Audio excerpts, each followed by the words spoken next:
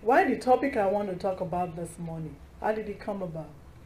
Recently, a lady came to my office for some of us that know what I do. Earlier, she sat down to complete her intake form, that tears begin to stream her face. This is not an uncommon sight for me, but at least they normally get into my inner office before they shed all the tears they need to shed or show their emotions. I paused for a moment, and as I was asking her, I'm sorry, I'm sorry, I'm sorry, she started saying, It's okay, it's okay, it's okay. And then she stopped crying, and then she filled that out, started filling her form. And I walked out of the waiting room. As I was walking back to my office, my head high up, my eyes rolling, going, Oh Lord, not again. Why this time? It's a Monday morning. If I start the week with that, I'm going to have a lot of that because it's going to be a lot of work for me. Um, the moment I did that, something just said within my mind. I said, to put a broken together, you must have what it takes. And because you can give only what you have. If God sends you, if God send one your way, it is because he has to keep you to mend them and to move them forward. So, embrace your calling. It is why your gift is needed. I'll be like, okay, that's very interesting. So I kind of got myself together that, okay, this should be interesting. This should be a fun one. So, and what I found is the interesting thing is uh, that people that are come to the office that are like that when they come to the office are open to therapeutic process and are always the one that receive the most in session because they come empty to be filled. And unlike those that come in and just want me to fix them, and not just fix them, they want to tell me the way I'm supposed to do it. and I just sit down and just listen to what they have to say, and it's really hard because my hand is folded to the back, and change doesn't take place. They sometimes stay in therapy forever because they just want to be there and still carrying whatever they do on the outside into the therapy room. There's no nothing much. I just wait and wait until they are ready. They are broken. Something in them is really ready to receive the help. So, at that moment, I realized how brokenness before the Lord has brought me this far in this journey. In my message today, I want to attempt to answer the following questions for you. Uh, also, for the following category of people. I want you to find yourself in this category. I want to talk to those who have been saved and have given the control of their life to the Lord Jesus Christ. I want to talk to those who are saved but have no understanding whatsoever. What more is required of them to live only for God and not just that, even though they are willing to follow God, they just don't know how to do it. Three, I want to talk to those that are living their Christian life just carelessly. They feel they can do whatever, whatever it is that they need to do. I'm a Christian, once born again, you don't need to go to hell, you can't go to hell. Your God will not take your name away out of your his refrigerator. You are there forever. Because they either have lost the fire or they never had the fire in the first place. And lastly, I want to talk to those who have no idea what salvation is. They have no clue. They just think we need to go to church every Sunday. Yeah, we should go to church. And then we're here. I want to talk to those. Here's the questions that I want to answer or attempt to answer for us. What is the kind of a heart that God revives and the type of life that God uses? Two, what will it take for me to experience continual revival with God? And three, what is the way forward? this can be answered following this illustration, and I'm going to let you let it sink in for you. Let us pray. Our Father and our God, we want to say thank you for this morning. Thank you because of the opportunity that we have to be rightly associated with you. We want to say thank you, Lord, for grace that we enjoy daily. Thank you because you are the Alpha and the Omega, the beginning and the ending. Lord, we thank you for this time today. We thank you for your word. We thank you for this service. We thank you because, Lord, we know today is something you've ordained, O God that we're not here by accident. So, Father, I'm asking that you open our hearts to be able to receive from you that which you have for us, O God, that will change our life, that will move us forward, O God, for you, and even for the glory of your name, and even for us to live a fulfilled life. Lord, I release myself, oh God, to you as a broken vessels, Lord, this morning, that, Lord, through me, you will speak, oh God, to your people. Thank you, Holy Ghost. as you partner with me. In Jesus' name we pray. Well, the answer to this question is a very, very simple one. The questions of what kind of father God revive and the type of life God uses. The question of what will take place. What will it take for me to experience continual revival? The question of what is the way forward? It's all one thing, and that is brokenness. It was interesting that my sister was uh, during this uh, the life class. She was talking about purpose, and from the purpose, she bring all these things into it. So when she was talking, I was like, Lord, this is just you right there, you know, because it's kind of tied into what I'm talking about. Because when you are not broken, you can't have the purpose. It's just as simple as that. Brokenness, a, a broken heart, and a contrite spirit. Why brokenness? Well, this is because having a life that is set apart and a heart that is set on fire is a way forward in walking with the Lord. Having a life that is set apart and a heart that is set on fire is a crucial ingredient required for experiencing one, the visit of God, two, the power of God, and not just that, three, a life of victory and fulfillment as the year come to an end. Not just that, the way forward, the 2017, right, is through brokenness. If you want to live for God and eat the fruit of the land in 2017, I'm saying you must be broken. Not just being broken, be broken God's way. What am I saying? I'm saying we need to have an understanding of brokenness, what it is. How does it relate to our life and being on fire for good? I'm saying brokenness, is it good or bad? Why is this so important? Why are we talking about it? How do we become broken? I'm already broken, right? So how do I, what else, how broken can I, can I be? That's what my client said when I was saying, you know, the way things are going right now, we have to be broken before the Lord. He said, I've been broken all my life. And it's true, maybe she's been broken all her life. It's just not the kind of brokenness that God is looking for. And some of us are here too that we've been broken all our life. We're still broken. In pieces. In how many pieces I don't even know. But maybe that's not what God is wanting. They will not God's way.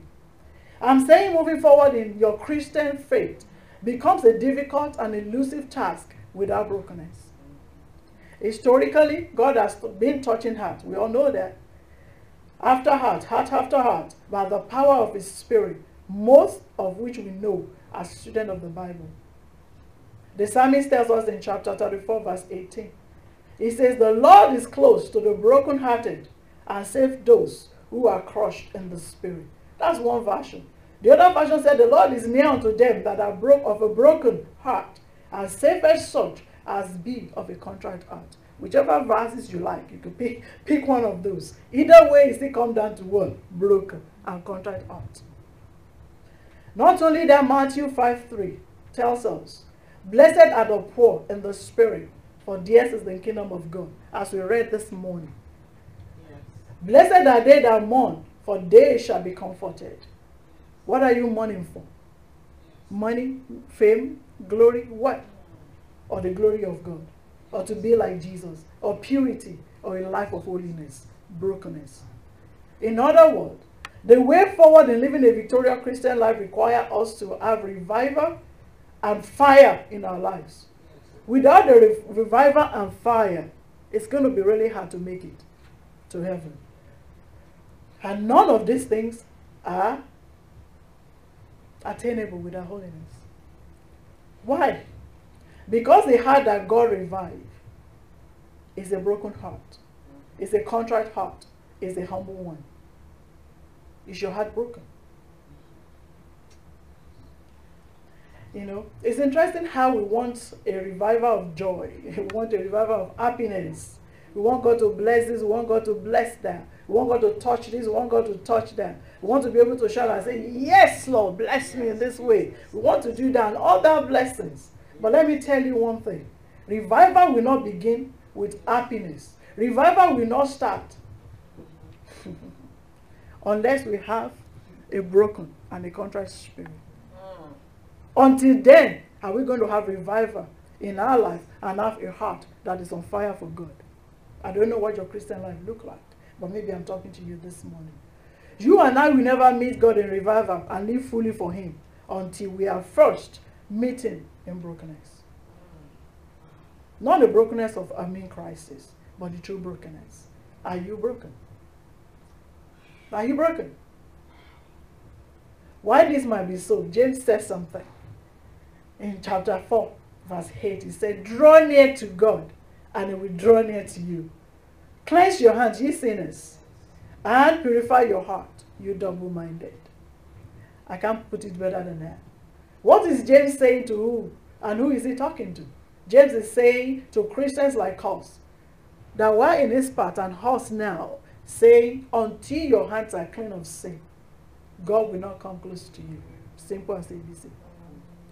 Until you drop the anger, until you drop the unforgiveness, until you drop your malice, uh, your animosity, your pride, your idolatry, your adultery, your pornography, your fornication, your self-righteousness.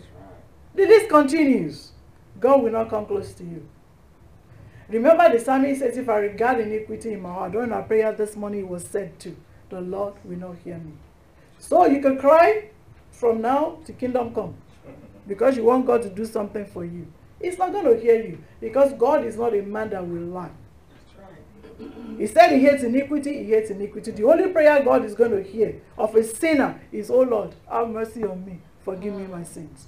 Then God can step into your situation. Until that happens, until you go on your knee in total surrenderedness, in total brokenness, God will not show up. Maybe that is why sometimes we feel our requests are not granted and our joy is not full. Or we feel like God is not answering us or God has forgive, forgotten us. We're saying, Lord, I'm going through this. Didn't you hear me? God, where are you? It's where He is. He did not move. We moved. That's right.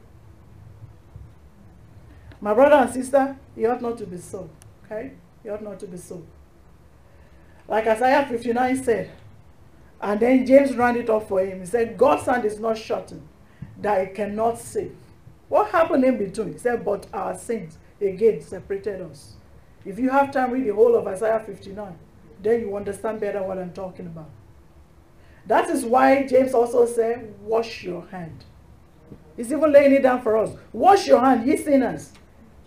And God will come close to you. It's very simple. Brokenness. Which means without purity in our heart, we can only achieve, which we can only achieve through brokenness, we are as far as we can go from God. Far away from God as we can be. We're glory that, just glorified sinners and a, what's it called? A dirty sinners in the church. It's just who we are. I pray that the Lord will help us in Jesus' name. Amen. So what am I talking about? She wants to talk about brokenness. What's all these preambles? Now let's talk about brokenness. Right, sister? Let's talk about brokenness. we people we define brokenness generally as something that is broken. You know, a broken heart, a broken marriage, separation. Oh, my boyfriend left me. Oh, my husband left. Oh, my this happened. Oh, they didn't give me the job. Oh, I got the job. Oh, I don't have enough money. Oh, my children didn't graduate. My children graduate. Yeah. Yeah, that's how we define our broken. Sorrow, that's how we define our own brokenness. But our idea of brokenness and God's idea of brokenness are way different. Okay? We often think brokenness as sad, gloomy, morbidity, false humility, and what? We're constantly putting ourselves down. We think when I have that rope of sadness and sorrow, and when people see me, oh, sorry, so I'm so sorry. We're being victim. We think that's when we're broken. My sister, my brother, I'm saying no, we're not. Not only that, many equate brokenness with deep hurts, but never experience true brokenness. Some people think shedding tears, just crying in deep emotions, and people are all well over. It's broken. But there are many tears without brokenness. What then is brokenness? In order to understand brokenness, you have to first understand what brokenness is not. Brokenness is neither a feeling or an emotion. Brokenness is not one-time experience or a crisis in life. Though that may happen. I'm not discrediting that we have crisis and we are broken. But that is a different kind of brokenness. Okay? True brokenness is defined as the condition of being completely subdued and humbled before the Lord. And as a result, you are completely yielded to and dependent on Him. Let me say that again. Brokenness is the condition of being completely subdued and humbled before the Lord. Not because you are sick, not because you are going through one thing or the other, not because God is meeting your need, not because God is doing what you want God to do for you. That is not the brokenness we're talking about. It's just you completely yielding yourself to the Lord and depending more on the Lord and Him alone as the author and finisher. Right? Regardless of what life throws at you, regardless of how people treat you, fear or not, you remain yielded and humble to God's will and God's will alone. You allow Him to fight your battle. You, so you stay away from gall, resentment, animosity, malice, self-righteousness, which is really difficult for us to do. Oh, you did that. I'm not going to talk to you again. I'm not going to talk to her again. Note Sister Joe's number now. Don't call that sister again. Because she's done this, she's done this, she's done that. Oh, God. Lord have mercy, Jesus. God, you didn't let me do that. I'm going to show you. Some Christians believe once we're wronged, it is. And that is it. Therefore, we should never forgive. And if we forgive, we don't forget. Such a heart we find it difficult to stay broken if they attain it before God. Why so? Throughout the scriptures, we see many occasions of brokenness, and it is usually accompanied with total surrenderness, humility, and genuine prayer. And we can see that in book in Genesis 18 27. What then am I saying? What am I saying? I'm saying brokenness is a choice that I make, that you make. It's an act of my will, an act of your will. Brokenness is continuous, ongoing lifestyle, not a one-time deal. It's a daily living.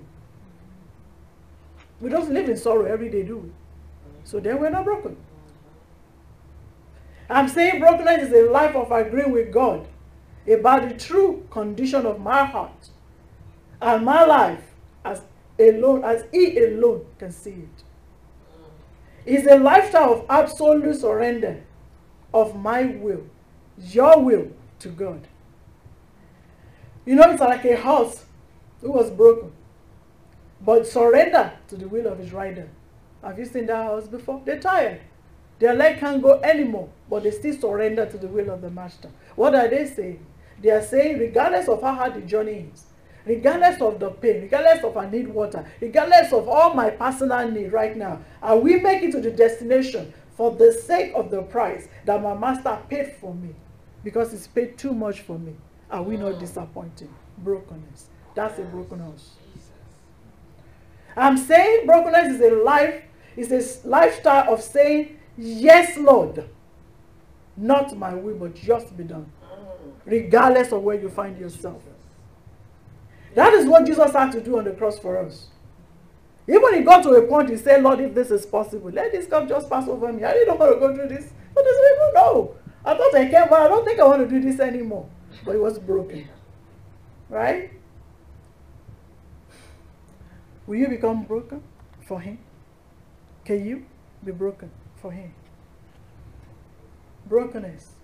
I'm saying brokenness is a shattering of my self will.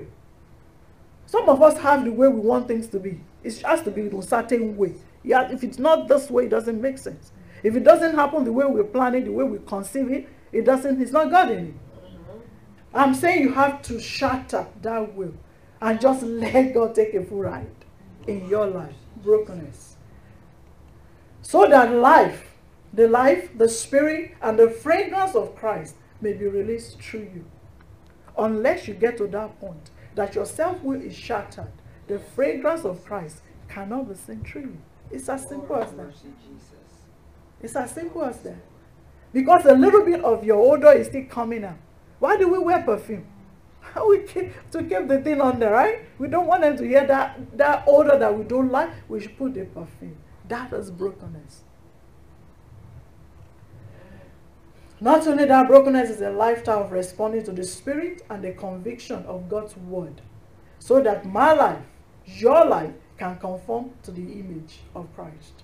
How many of us are willing to turn to the next turn the next cheek instead? If I say, sister, uh, come here and let me just slap you, and you say, okay, slap this one too. How many of us? Let's try it. How many of us want to try it? Who want me to slap them and slap the other? Nobody wants to volunteer. But that is brokenness. Finally, brokenness is a lifestyle of transparency with God and others. Are you living a life in your own houses that if I come in or if somebody come in, you could tell them, oh, this is what is going on. Mm. Or you have something behind the door that if somebody wants to get that, let's shut that door first. Let's shut that door first. You know. Somebody was sharing with me the other day, they went and stopped by to visit one of their friends out of town. They would stop by their house to say, it's been a long time, let me stop by and say hi to you. The lady kept them first in the car for a while and said, You guys stay there first. My house, you can't come in right now. Let me fix it first, then you could come in. You can imagine that. That is how most of us are when we're before God. But we think God cannot see. So brokenness makes you live a life that is transparent. Before Him, outside, and then before other people. Brokenness. What am I saying? What am I saying? Brokenness results in amazing things and transform lives. It transforms people. Then it transforms the nation. It has to start from you. It has to start from me before we can transform the nation. Imagine if all of us are broken the way God wants us to be broken. We're going to have a different community in Antioch. Just few of us that are here. Yes. Things are going to begin to be different. Because people will see you and be like, what's wrong with her? She's always happy. Is something wrong? Then after a while, they come to know you and be like, oh, wow, why is this person like this? A lady asked me one time in session, he said, how do you do this? I said, do what? He said, we come here and we dump all this on you and you are still happy. I said, I have no option. I'm not doing it by my power. He is doing it through me. Yes. Lord. Brokenness. Without brokenness, we cannot live a life that is set apart, nor have a heart that is set on fire for God. We cannot. It's impossible. Are you broken? So far, yeah, are you broken? In order for us to have the kind of life and the heart that will help us through 2016, that we have, we have 30 something days, I think, to get by and move into 2017. If you do not want to live the same life you've been living all these years and there's no change, you don't want that problem in your life anymore.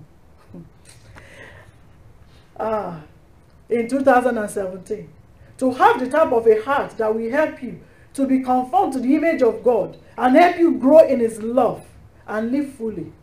In order to have the type of heart that will help us to overcome the devices of the enemy and become an overcomer, in the new year, we need to be broken. Not just broken, we need to be broken God's way. So then, what does broken God's way look like? Because I keep saying broken God's way, broken God's way. From the book of Genesis to Revelation, there are historic, uh, historical examples of men and women who has demonstrated a life of brokenness and those that have not. Okay? I don't want to go down deep into this one. I just kind of throw these few names in there that all of us are familiar with so we can move forward. We've seen the life of Adam and Eve. You can ask yourself, are they broken?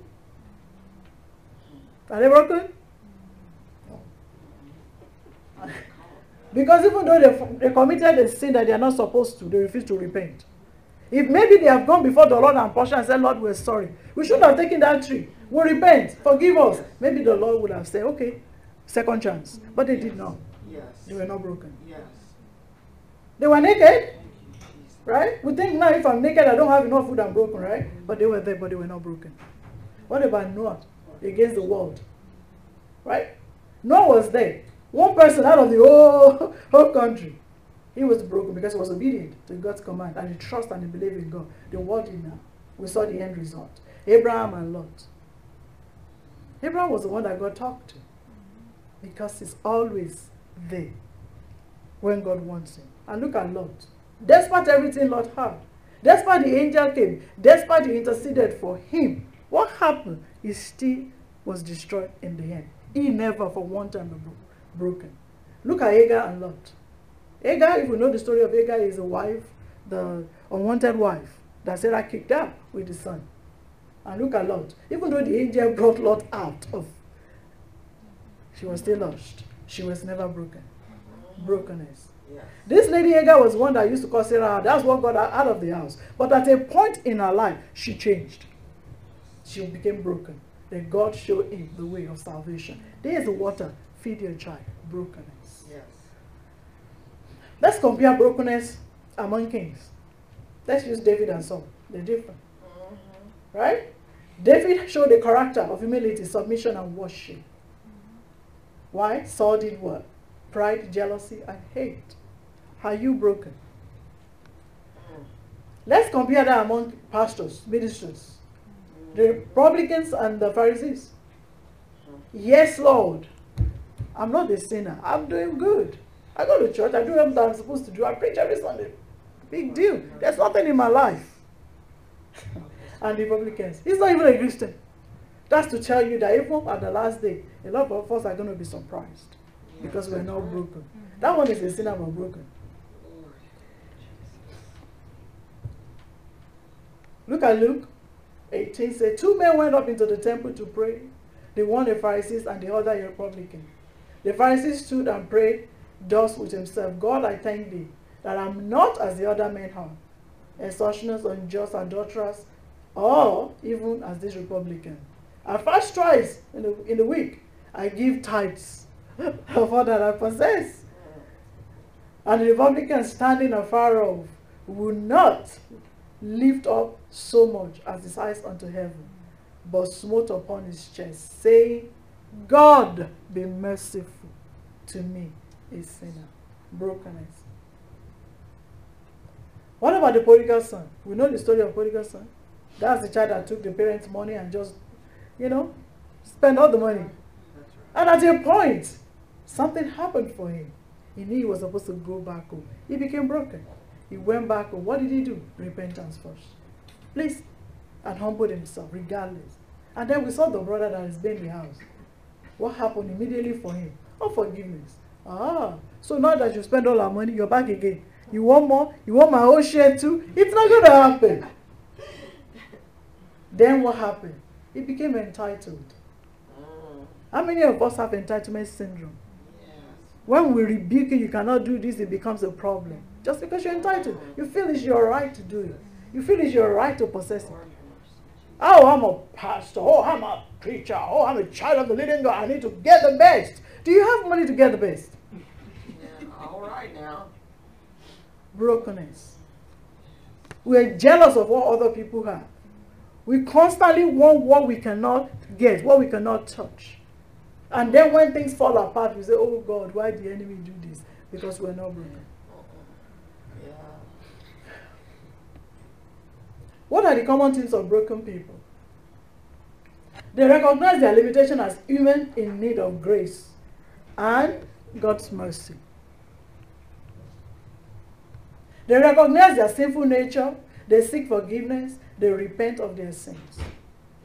Not just that, they are humble and they are transparent. They don't wear their title in their head. They're humble. Whether they walk in the house of the Lord, wherever they find themselves in the house of the Lord, they just do it because they're not doing it for man. They're doing it for God. Brokenness. They're obedient. And most importantly, their attitude are in check daily. Every day they go, they come, they say, Lord, look at me. I love David, the man after God's heart. That man is the most, whatever sinner you want to call it. But yet God is always there. I studied this guy. I was like, but why did God love this guy? Why? Because he knows how to be broken daily. Daily. Enemy is after him, is after God. God, see them again, they are, they are, they are again, they are following me again. You have to do this to them. oh. You have to slap them. You have to kill them. You have to do whatever you need to them. Every day of his life. Even when Saul was after him, he didn't go back. Even when he saw Saul in the cave, he could kill Saul. He didn't revenge. He forgave. God will help us. Why is brokenness important? Why? It's important because brokenness is a place of vulnerability. Brokenness is a place of neediness. Until we become needy before the Lord, we're not going to get anything. As long as we think we know it, as long as we think we have it, the Lord will just be looking at you. Like my husband used to say, uh, our God is a God that will look at you and look at you until you die. You don't say anything, it's just going to keep looking because it's where He is, it's waiting for you to come over there. It's a place where we give up in total surrenderness to God to, make, to take over our situation and problems. It's a place where we recognize our limitations and our need for Christ. Brokenness is a place where we evaluate where we are coming from and where we're going. I don't know where you're coming from. I know where I'm coming from. I'm coming from Africa. and on the journey through Africa, I know I couldn't have been here without God. And not just God, real God. And brokenness. It's a daily life. Brokenness is a place where we evaluate where we're coming from and where we're going. This year is going to an end pretty soon. And we're getting ready to go to 2016. We have plan, program. We just talk about purpose, list of what we already want to do, what we want to achieve in 2016. But unless we are broken, we will go into the new year to do the same and have the same failure, the same problem that we just experienced in 2016. I pray that will not be our portion in Jesus' name. Brokenness is a place where we become unstuck. Most of us want to do it right, but we just don't know how to. It's a place we become unstuck. A place where we make a new beginning. It's a place where our future is made or is determined. It's our choice. Are you broken? Brokenness is a place where our heart is renewed in Christ. A place where we say no to grudges, self pity, loss, darkness, distractions. Brokenness is a place where we receive the infilling of the Holy Ghost. Unless we get there, you cannot have the Holy Ghost. You want to prophesy? Yes, it's simple to do. Right? But you have to get on your knees. You have to be broken. Because you have the temple of the Holy Spirit. No unclean thing will stay there. All those acts of ingratitude, self-centeredness, unforgiveness, hatred, all those things cannot stay in the same heart where you want God to feel and use you to tell other people their business. You can use every vessel, but we use it according to how you let yourself go for. It's a place of holiness, purity, honesty, and a place of gratitude. Thanksgiving is coming. You would think everybody will start thanking God just for every reason this year. You seen people in church when you say, let's just worship the Lord? They are beginning to ask God for something. Just that one minute they're going to use to praise God is too hard. It's too hard for them to praise God. They are, they are waiting for you to call prayer point. Prayer point. Every day, every day is prayer point. No praises. They have no patience. And that's where the power is. God will help us. Brokenness is a place where our hearts are bent in prayer, our mind kept on the word. Most importantly, brokenness is important because the Lord is close to those that are broken hearted and saves those that are crushed in the spirit. What then do we do? We can start today by doing what David did when he cried to the Lord in Psalm 51 10. Create in me a new heart, O God, and renew a right spirit within me. Why will he want God to do that? Maybe because he recognizes limitations as a product of Adam. And maybe because he realized he cannot do it by himself. The same way you and I cannot do it by ourselves unless we're broken. Now I'm skipping because I'm looking at my time.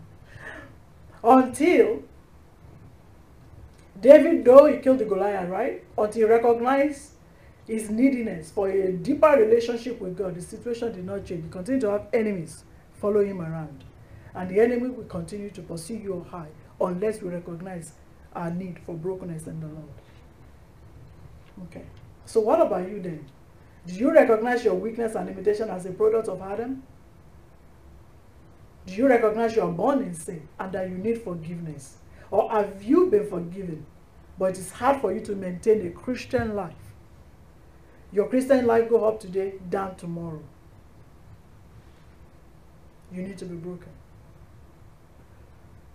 Not only that, because according to the psalmist, the, the sacrifice of God are a broken spirit, a broken and a contrite heart. Oh God, you desire.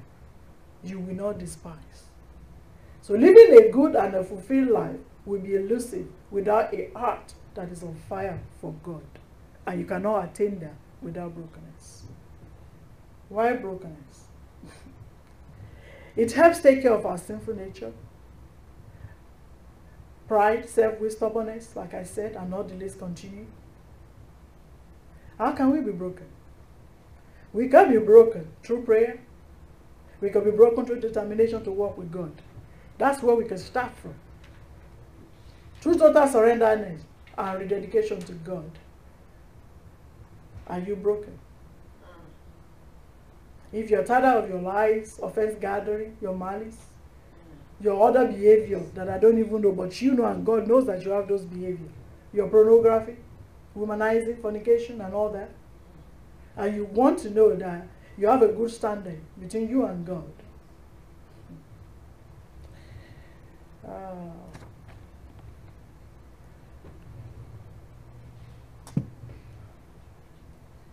I want to move forward fast now.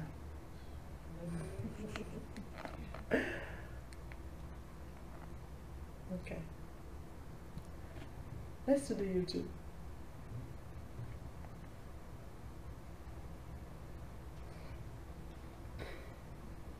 There's a song that said, Give me your whole heart.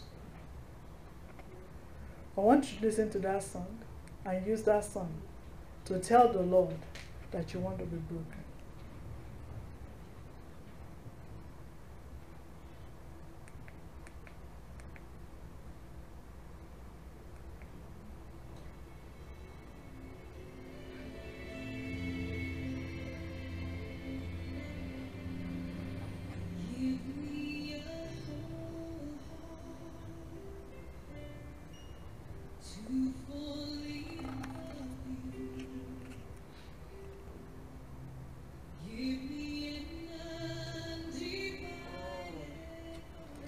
To close your eyes with that song.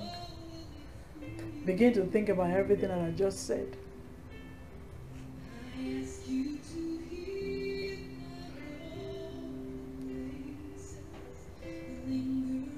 Where have you been broken that has been hindering you from walking according to God's will for your life?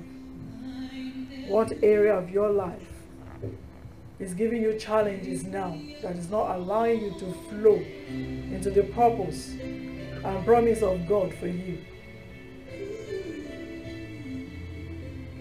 I want you to think what area of your life need a change this morning? You need to be broken. If you're not broken, 2017 will just come and go. And your life will remain the same. No change. God wants to use you. God wants to be closer to you. But He cannot use you until you're broken for Him. He doesn't want you to take those sicknesses and carry it alone anymore. He doesn't want you to bear those burdens anymore by yourself.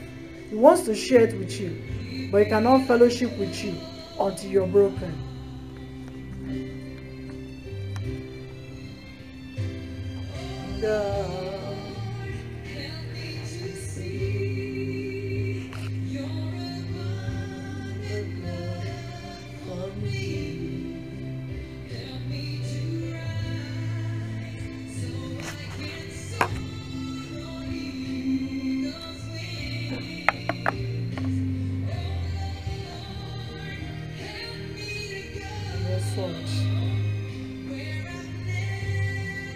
Are you willing to go where you've never gone with God before?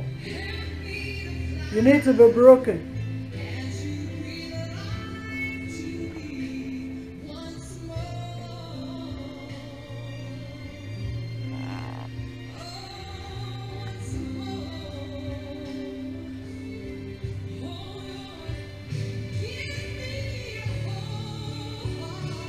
Let's rise up on our feet. Rise up on your feet. Begin to ask of the Lord to give you a whole heart. You want to be broken for Him. Ask the Lord to help you. Tell the Lord you cannot do it by yourself.